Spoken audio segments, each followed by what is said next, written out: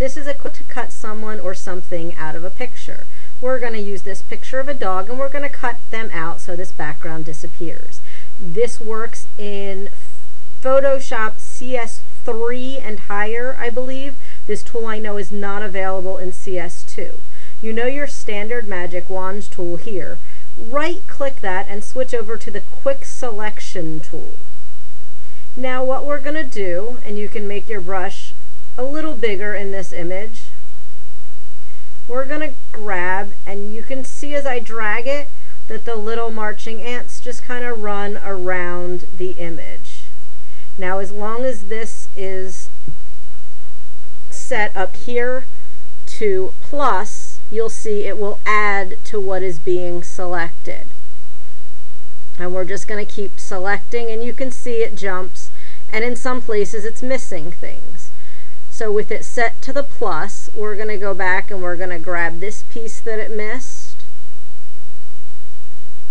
And my computer is being a little slow today. We'll grab the shadow there and around the ear. And then we'll come down here. And we're going to grab this piece of the shadow.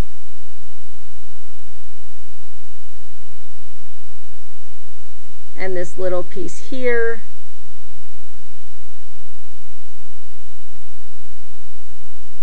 there's a little piece there.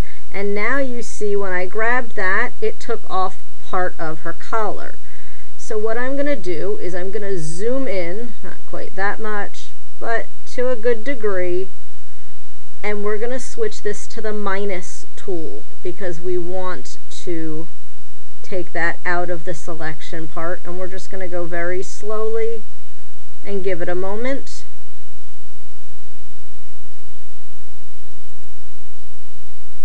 have it set to auto enhance so it automatically jumps the lines a little better.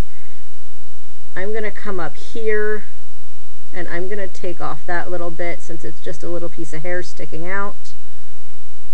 We're going to switch back to the minus tool because we do want to get the rest of her collar right along here. And there was a spot I saw on the top of her head that was going to give her a little mohawk. So we want to fix that too by just running along there. And you can see that I'm actually slightly outside the dots and it will enhance it correctly or more correctly and adjust it. There's still a little piece right there I want to come down on. And you can see the dots will jump after it's done thinking. And then what I do is I, I don't zoom it quite this much, but I zoom it in nice and tight so I can go around and make sure that there's nothing else that's missed.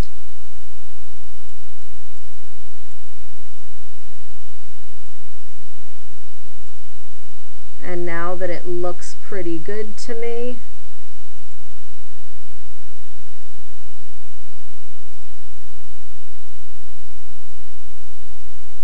I'm going to do is go ahead and delete that and I should have done this first. Double click on your lock and say OK to give it a layer.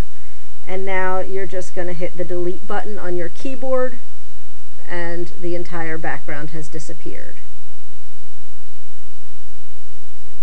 If you had wanted to delete the dog and keep the background, what you would do is then right click and say select inverse and when you delete you can delete the dog instead. If you needed to fade out the background for example on this what I would do is I have the inverse selected the dog.